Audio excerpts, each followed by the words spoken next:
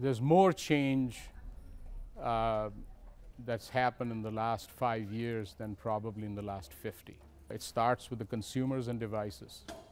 People are consuming content over connected TVs uh, or, or laptops or phones, and that requires an entirely different infrastructure.